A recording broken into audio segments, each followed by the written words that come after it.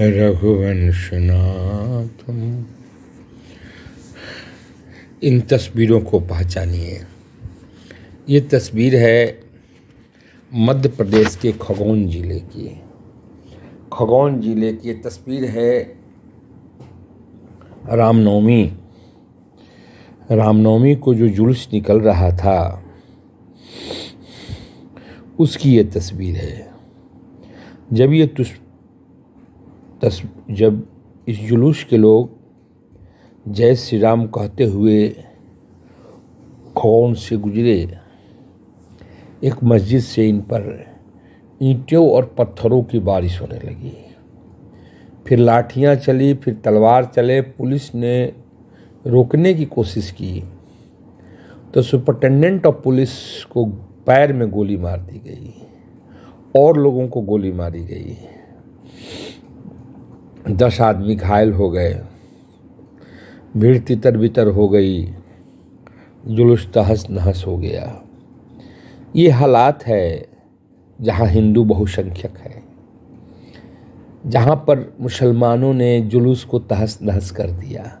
लोग कहते हैं, हमारे अजीत अंजुम जी का प्रश्न बार बार रहता है कि बहुसंख्यक हिंदू डरता क्यों है? बहुसंख्यक हिंदू डरता इसी बात से है।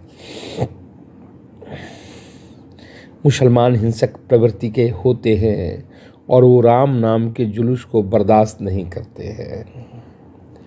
अब बारी सरकार की थी। अब सरकार ने धड़पकड़ का काम प्रारंभ किया।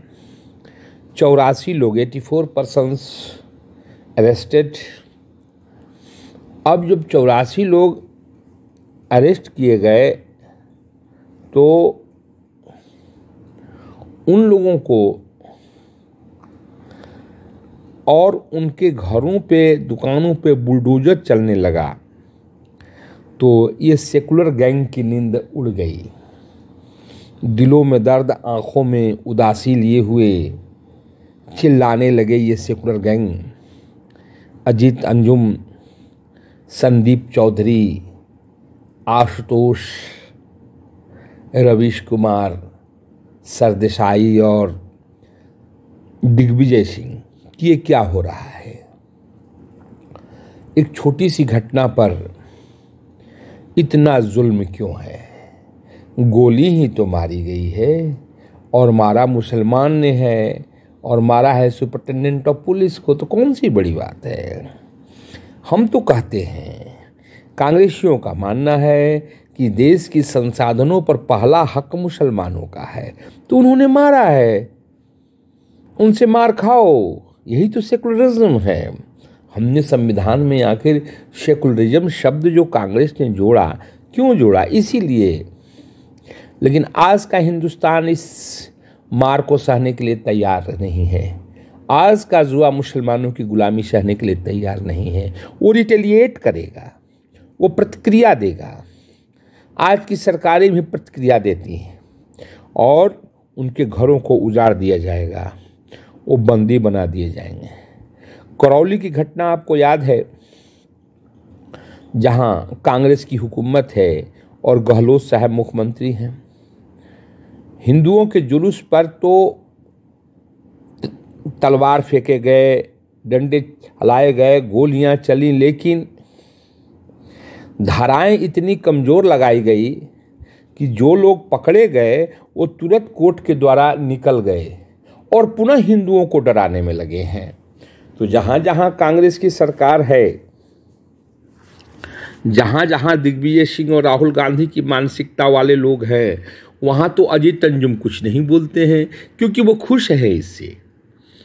अगर मुस्लिम गुंडे छूट गए राजस्थान में तो वो खुश हैं, लेकिन मध्य प्रदेश में के खगौन में ये इन गुंडों के घरों पर बुलडोजर चला दिया गया और जेलों में कैद हो गए तो इनकी खुशी कफूर हो गई, उड़ गई। ये खुश नहीं है, अभी संविधान की दुहाई देते हैं। अभी कॉन्स्टिट्यूशन की बात करते हैं लॉ ऑर्डर की बात करते हैं, यही प्रश्न ई गहलोत साहब से क्यों नहीं पूछते हैं कि आपने धाराएँ, क्यों इतनी कम लगाई, जो न्यायालय में जा करके वो दोषी छूट गए। अब एक नई परिपाटी का चलन हुआ है। अगर कांग्रेस की सरकार है तो मुसलमान चाहे जो भी कर ले, उनके ऊपर धराएँ नहीं लगती हैं और वो न्यायालय के द्वारा बहुत मामूली ढंग से छूट जाते हैं। कोलकाता का देखिए हाल। वेस्ट बंगाल में भी मुसलमान चाहे जो करे, उन पर धाराएँ लगती ही नहीं। एक तो अरेस्ट नहीं होते हैं, दोबारा अगर अरेस्ट भी होते हैं तो इतनी धाराएँ कमज़ोर होती है कि वह पुनः क्राइम करने के लिए मैदान में आ जाते हैं और गजवाए हिंद खनहरा बुलंद करते हैं। समस्त हिंदुओं को मुसलमान में बदलने की प्रक्रिया प्रारंभ करते हैं। ये मुल्क जा कहाँ रहा है? ये मुल्क जा कहाँ रहा है? इस मुल्क को जगना होगा। इस मुल्क को सोचना होगा। ये सेकुलरवादी हमें क्या कहना चाहते हैं, समझ में नहीं आता है। इन पत्रकारों के ऊपर कोई कार्रवाई क्यों नहीं होती है, समझ में नहीं आता है। राजीव सरदेसाई ट्रैक्टर से गिरने वाले युवक को कहते हैं, पुलिस ने गोली मार दी। दंगा भड़काने का काम ये पत्रकार खुद करते हैं। और एक पक्षीय नज़रिया रखते हैं। ये ये नहीं कहते हैं कि मुस्लिम गुंडों ने करौली में हिंदुओं के जुलूस पे फायरिंग की। ये नहीं कहते हैं। ये ये कहते हैं कि खौन में फायरिंग भी की, मारी भी गोली तो क्या हुआ? उनके घरों को क्यों जलाया? अब इनको संविधान की याद आती है। जब मार पड़ती है तो संविधान की बात आती है तभी कॉन्स्टिट्यूशन की बात करते हैं। और जब मारते हैं, तब कॉन्स्टिट्यूशन की बात नहीं करते हैं। लोहरदग्गा में भी यही स्थिति हुई, जहाँ चार चार लोग काट दिए गए। लोहरदगा में भी मुसलमानों ने हिंदुओं के जुलूसों पर राम नवमी के जुलूस पर पथराव किया अगलगी की। क्या हुआ? कुछ नहीं, क्योंकि यहाँ कांग्रेस समर्थित सरकार है। राजस्थान में कांग्रेस समर्थित सरकार है। रायपुर में भगवे झंडे को तोड़ करके तहस नहस कर दिया गया, क्योंकि वहाँ कांग्रेस समर्थित सरकार है। और कांग्रेस यही चाहती है कांग्रेस के नेता मनमोहन सिंह कहते हैं कि इस देश की संसाधनों पर पहला हक मुसलमानों का है, लेकिन नरेंद्र मोदी की सरकार ये नहीं कहती है कि इस देश के संसाधनों पर पहला हक मुसलमानों का है। मुसलमान एक सामान्य नागरिक हो सकते हैं, जितना उनका हक है, उतना हिंदुओं का है, जितना हिंदुओं का है, उतना उनको है। बसरते वो साबित करें कि पश्चिम बंगाल, बर्मा और पाकिस्तान से आए हुए मुसलमान नहीं हैं। आज देश की हालत ऐसी है कि इनको खुश करने में देश को बांटा जा रहा है। ये खुश हों, इन पर धाराएँ कम लगे और इनको क्राइम करने की छूट मिले। ये सुपरिटेंडेंट ऑफ़ पुलिस के पैरों में गोली मारे, तब किसी पत्रकार को संविधान याद नहीं आता। ओवैसी साहब को कॉन्स्टिट्यूशन याद नहीं आता। उनके ओवैसी साहब के भाई तो कहते हैं कि मैं पंद्रह मिनट में ही सारे हिंदुओं को कत्ल कर दूँगा। तब इनको संविधान याद नहीं आता। लेकिन हिंदू रिटेलिएट करे अगर कहीं थोड़ा सा अगर सरकार इनके ऊपर एक्शन ले तो इनको सब भारतीय कॉन्स्टिट्यूशन याद आ जाता है। इसलिए कि मार अब इन पर पड़ रही है। इसलिए कि दोषी हैं। इनके भाई के घर को तो अभी तक सरकार ने तोड़ा नहीं, जबकि वो पूरे हिंदुओं को मार देने की बात करते हैं। और कांग्रेस उसी संस्कृति को अपनाती है। इतनी कम धाराएँ लगी करौली में, राजस्थान में, कि अपराधी जेलों में गए, अब पूरा छूट गए। और वो हिंदुओं को धमकाते फिर रहे हैं, जहाँ बहुसंख्यक हिंदू आज डरा हुआ है। अपने जान माल की सुरक्षा के लिए डरा हुआ है। आप भूल गए कि जोगी के आने के पहले यूपी में हिंदू अपने घरों पर लिख देते थे ये मकान बिकाऊ है। लेकिन जब से भाजपा की सरकार आई वहाँ पर ये लिखना बंद हो गया। हिंदुओं ने मुकाबले करने स्टार्ट किए और वहाँ की सरकार ने उनको न्याय दिया जस्टिस दिया।